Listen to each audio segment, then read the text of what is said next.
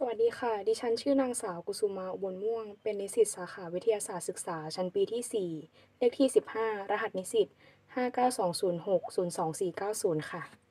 วันนี้จะมาเล่านิทานดาวของกลุ่มดาวค้างคาว หรือว่ากลุ่มดาวแคสซิโอเปียค่ะ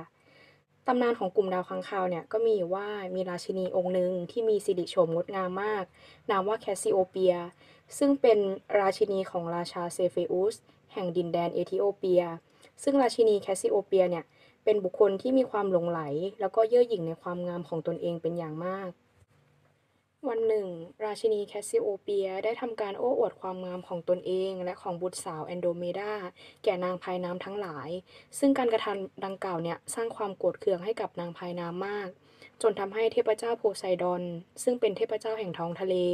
ตัดสินใจส่งซีตัสซึ่งเป็นอสูรวาฬ ไปทำลายอาณาจักรเอธิโอเปียเพื่อ เพื่อระบายความโกรธแค้นค่ะ ต่อมาราชาเซเฟอุสและราชินีแคสซิโอเปีย จึงตัดสินใจทำการเสียสละบุตรสาวของตนเองก็คือล่ามองค์หญิงแอนโดรเมดาไว้กับก้อนหินเพื่อเป็นเครื่องสังเวยให้กับซีตัสซึ่งใน